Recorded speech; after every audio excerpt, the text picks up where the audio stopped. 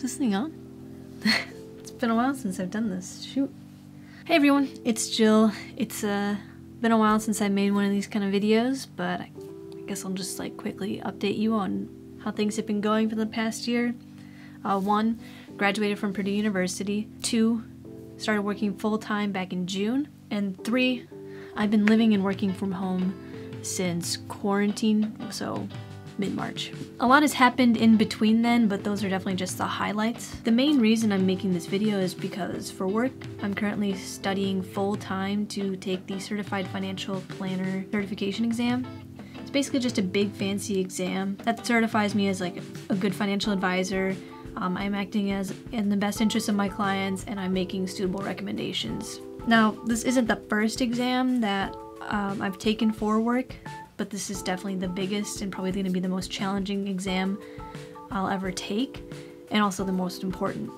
Because of that, I was interested in tracking my weekly progress um, as far as studying goes, and just kind of finding best practices and study techniques that I've used throughout the pro process. So because of that, I figured I'd record weekly progress videos to one, track all that information, and then two, to kind of hold myself accountable I find that if I have some semblance of accountability, it makes it a little bit easier for me to like sit down, do the work, and get focused. Now that I've talked a bit about why I'm making these videos, I'll kind of dive into um, what the CFP exam is and what it's going to be about, and then maybe some study strategies, things that I've kind of set up for myself before we even get started with studying full time. First things first, the CFP is comprised of six books or six main topics. These topics range from general principles to retirement planning, investment planning to tax planning. The exam is about six hours long, about 170 questions split into two parts. The questions can range from basic understanding of concepts all the way up to analyzing and evaluating uh, questions to get to the right answer.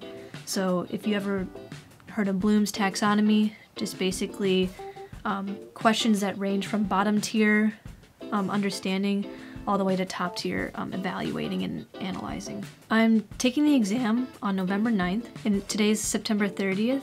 If I study for seven and a half hours a day for five days a week, that's about 225 hours of studying for this exam. Because this exam is so difficult and it requires me to really understand and then apply the materials that I've learned, it's important that I have a really good foundation of what the material is about and like um, the different uses for it. Obviously, before starting studying for this, I've done a bit of research on how to study, watch some of my favorite YouTubers, of course, just to like find information on how to study for big exams like this. And basically, I'm gonna really try to adhere to active recall and spaced repetition study methods. So just actively trying to pull information from my memory and then also any material that I go through, um, space it out evenly so that I am studying more difficult material more often and then things that I understand pretty well. I'll see less and less, but I'll still have some memory touch points with it. The reason I'm utilizing these methods is because I really want to try and pull um, information and answers from like understanding the material as opposed to just memorizing um, different facts and figures. To track my study progress, I'm using a site called Notion. It's like a note-taking app, but you can also use it for other purposes besides note-taking. And I'm using it to track my grade with each book. The CFP books that I got come with online study materials, so I get um, supplemental videos, podcasts, reading excerpts, and practice questions. So they and they also have their own study calendar for when I should complete each task. With Notion, I'm going to track the number of times I go through each book, the comfort level I have. I have a checklist of activities that I'm going to go through um, with tentative due dates on when I think I should have those done by, and then you know when I'm actually when I actually get it done. But studying also isn't just going to be me sitting down for 12 hours at my desk trying to read and understand and cram concepts into my brain.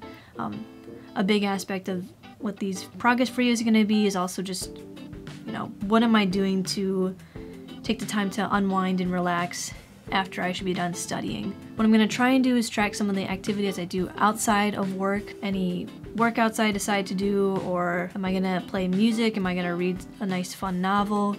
Am I going to watch Netflix? Like, what am I doing outside to um, unwind and relax and take some time off of studying? The current global pandemic and quarantines really made me realize the importance of mental and physical health. So, making sure that I keep myself healthy on all fronts before I take the exam is going to be really important because this kind of exam and studying progress is going to be a marathon, not a sprint. So that's what I have set up so far. It's currently Wednesday, September 30th. Um, we started studying full time for this exam on Monday, the 28th. I finished reading all six books on the yesterday, and the reason I was able to finish all the books is because I started reading a couple weeks early. The things that I have on my to-do list for this week is to take a practice exam.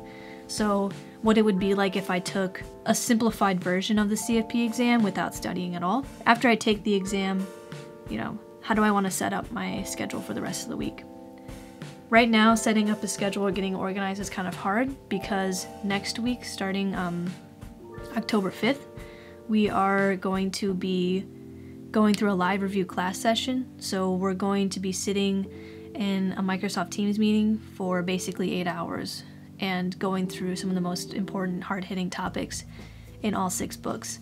So we're doing that, you know, five for five days and that's it. The biggest thing is just getting familiar with the material and then also getting organized and ready for live review day, live review week, so that I am ready to stay focused and understand as much of the material as I can throughout the week. But after the live review, that's when I'll really start diving deep into the study tools, study calendar, and like the study techniques that I want to try. So stay tuned for that. But for now, let's just check in and see how I'm how studying is going for week one of CFP study prep.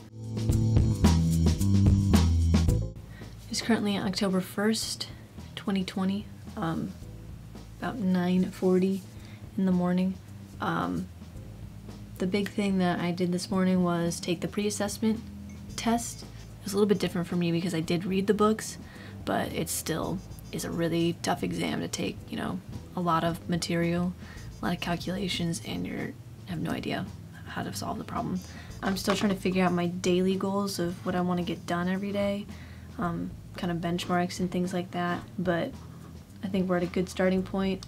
Okay, so after taking the pre study assessment, my main focus was trying to figure out where to go from here. The pre study assessment is good for creating a benchmark of like where I'm currently at. So then the question became how do I improve that score through the study materials that I'm given? First, I went over all the questions in the pre study assessment to see what I got right and what I got wrong, um, and then also the explanations as to why. Then I made a list in my Notion notebook of the tasks I have to get done before the exam, and the list consisted of listening to podcasts, watching videos, reading supplemental materials, and taking practice questions. Since it's the first week, I'm trying to limit the work I do to just being stuff that gets fam- me familiar. After the live review week, I think it would be better if that's when I start diving into questions and then supplementing that with podcasts, videos, and other resources. Right now, I'm going through the live review binder and flashcards to get some active recall and space repetition started. The biggest thing will be making sure I get through as many cards and get familiar with the material before live review, as well as just making sure I am organized for next week. I've heard that this review week is extremely beneficial and useful if you're ready for it. So, hopefully, the work I'm doing today will get me there. The main study technique I used today was going through flashcards I have access to through a site called Brainscape. These cards were given to me so that I could prep for a CFP related competition for Purdue, so I'm very grateful that I have access to this nice site and resource right now. Basically, Brainscape allows you to rate how familiar you are with the card material, and if you have no idea what the card is referencing, you give it a low rating and you will see it more often than cards that you know really well. There's about 60 to 90 cards for each book, so it's definitely going to take me a while to get through all of them and quote unquote master them. This is like probably the hardest part about studying is really using a lot of brain power to like try and comprehend the material, that's when it gets really exhausting.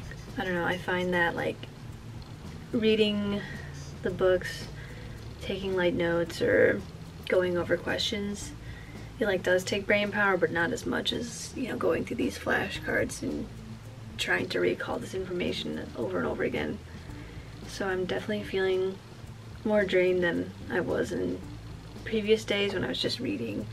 So, and obviously I know why because this kind of studying is a lot harder than just reading page after page. I'm just gonna keep hammering away. I think the goal for today is to finish these flashcards, at least, at the very least see all the concepts, not master them, and then finish the live review for book one, see where we go from there, maybe do some questions. You know, the night, the day's still young, so there's still opportunity to keep learning. I just kind of got to pace myself to make sure I'm not totally a waste woman by the end of the day. Today, I decided to go through some flashcards for Book 2 Risk Management and Insurance. It took about an hour and a half to get through as many cards as I could while also rereading the CFP Code of Ethics and Standards of Conduct.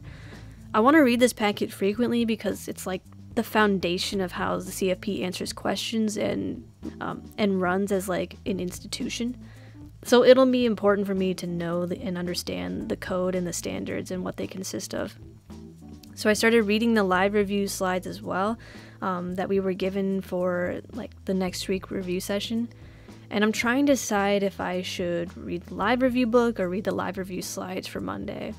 Um, hopefully I figure that out soon because otherwise I'll have to end up reading like 400 pages and 400 slides by Monday, and that sounds tragic. Big goal for today is just getting through as many flashcards as possible, as well as getting organized for live review week. Alright, so the big goal for today was just getting through the live review slides before Monday. I was initially between reading the slides and or the live review book, but I settled on just reading the slides. I kept studying real low key today because it was weekend. Later in the evening, I set a goal of seeing at least 10 new cards in Book 2 flashcards, and I was able to hit that. Um, but I was also really in the mood to listen to new music, and I only study or like do active recall with instrumental music. So I try to compensate my desire to listen to nice music and studying by getting organized for next week. I added some simple notes and keys to my Notion notes. Then I also typed out an outline for the CFP knowledge topics and the associated topics in my CFP books. Overall, a pretty lazy Saturday, but it was probably as productive as it was gonna get. So that basically concludes week one of studying for the CFP. Um, overall, I think right now I'm still a little bit overwhelmed with all the material and just kind of where to get started. I'm hoping that by the end of live review week, I'll feel a lot better about, you know, where I'm at and how I want to approach all the material and how to, you know, get better at it. But I think this was a good start. I'm really happy that I was able to read all the books and start kind of getting through a second repetition of some of the books and material and things like that. So um, only time will tell how the rest of the study sessions go. Stay tuned for that, so hopefully it gets better. If you guys have any suggestions on how I should approach my studying or, you know, best practices when you guys study for big exams or just anything at all, uh, feel free to leave a comment down below and be happy to respond or kind of implement that into my study sessions. But until next time, thanks for watching.